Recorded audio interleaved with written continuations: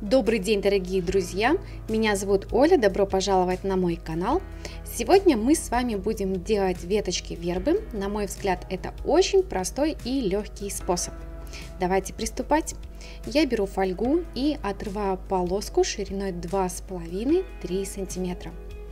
Затем нам надо ее разделить на 4 части. Я складываю пополам, разрываю и затем еще раз складываю пополам и разрываю.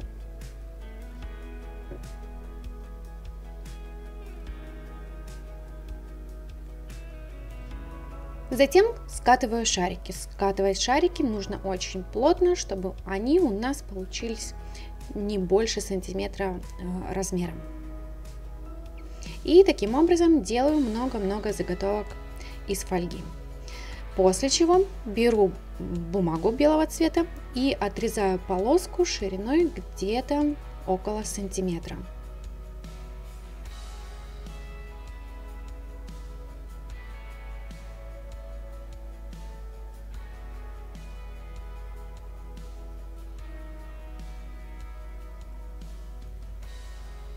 И саму эту полоску делю на отрезки длиной где-то 5-5,5-6 сантиметров.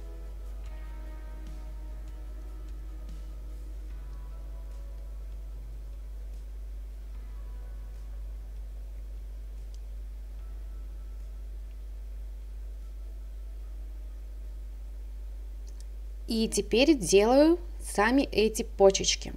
Просто скручиваю посередине бумагу, слегка ее сгибаю и растягиваю совсем-совсем немножко. Вкладываю в нашу заготовку шарик из фольги и складываю пополам бумагу. Узелочек нужно слегка примять, чтобы он не сильно э, топорщился. Фольгу как следует прячу в бумагу и у нас готова наша почка. Бумагу внизу я просто перекручиваю. Если э, отрезали слишком большой кусочек бумаги, то нужно чуть-чуть его э, подрезать. Хвостик должен остаться где-то около 1 сантиметра. И так проделаю со всеми, со всеми своими заготовками.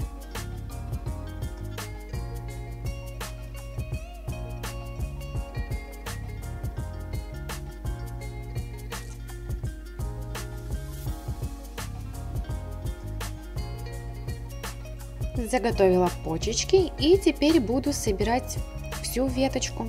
Беру проволоку, у меня обычная флористическая проволока и коричневую тейп-ленту. Обойдемся даже здесь без клея. И начинаю собирать. Сначала я слегка обкручиваю проволоку тейп-лентой, затем беру одну почечку и прикручиваю за хвостик, который мы оставляли, и обматываю тейп-лентой и постепенно-постепенно опускаюсь все ниже и ниже.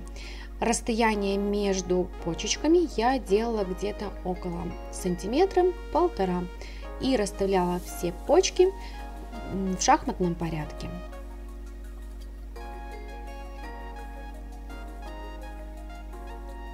Здесь очень удобно пользоваться тейп-лентой тем, что Э, не будет очень толстого э, стебелечка, поэтому не рекомендую использовать гофрированную бумагу и клей. Мне кажется, это в работе будет не совсем удобно. И на одну веточку я делала разное количество э, этих вот почек котиков, как называют еще их у вербы. Ну и, конечно, веточки я делала тоже абсолютно разной длины.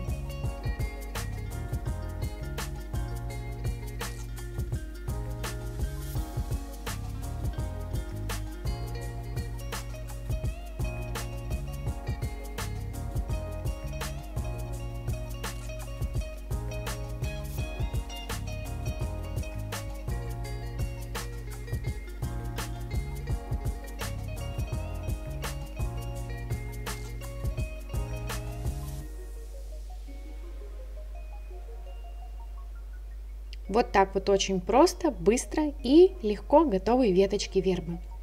Если вам понравилось видео, ставьте лайк, подписывайтесь, не забывайте нажимать на колокольчик. Всем пока-пока!